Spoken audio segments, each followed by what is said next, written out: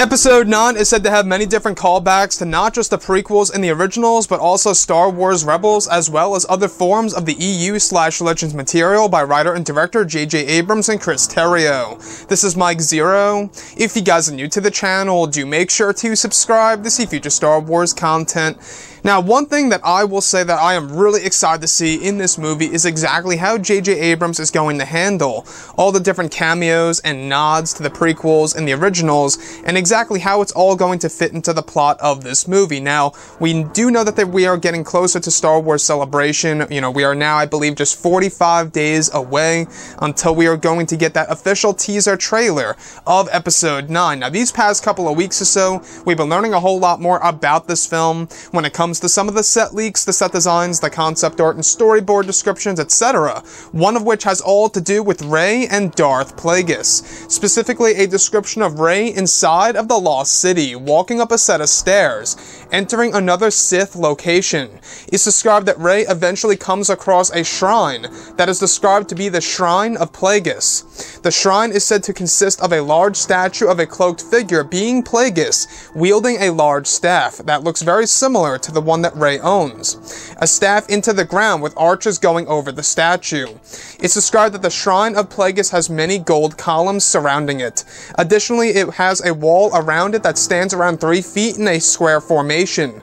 The next goes over Rey looking up at the Shrine of Plagueis, as is described that Rey feels sudden darkness when going near it, before moving along with R2-D2 in the actual Sith runes. So I want to go over a couple of parts about this that are really getting me very excited excited about this movie for all the different Sith and Jedi lore that J.J. Abrams will be inserting into this film as a way to really expand the Star Wars franchise that falls under Disney.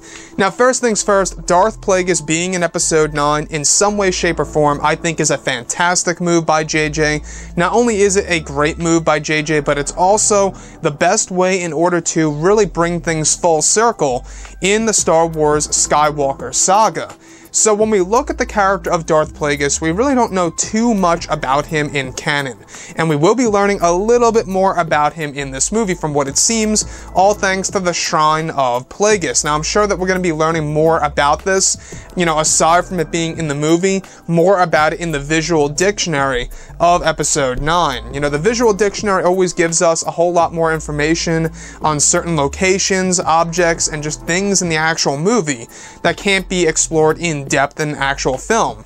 So first things first, the Lost City. I'm really trying to figure out exactly what planet this is based on. Now, the Lost City is a location underneath the surface of this mysterious world that will be inserted into episode 9 that is going to be the location of the Jedi and Sith and the origins of the Jedi and Sith and exactly what happened many, many years ago. So for the character of Darth Plagueis, actually having a shrine down there really does raise a lot of questions for sure. Now, is there, of course, you know, a couple of hints based within there that maybe there are going to be more elements of Darth Plagueis being inserted into Star Wars Episode 9 in a more significant way?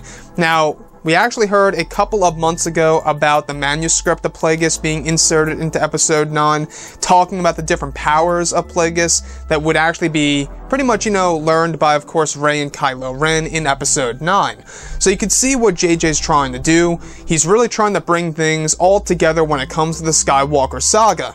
Now, the Shrine of Plagueis, I can only imagine exactly what he really is. Now, as far as we know, in canon, Darth Plagueis is not a Muun you know, if you actually do research it, you know, there's no indication that he is indeed of that species as of yet. F, we went over this just yesterday, holds a great secret inside. So that's another reason as to why I believe that there is more to the story than what's going on for the character of Rey.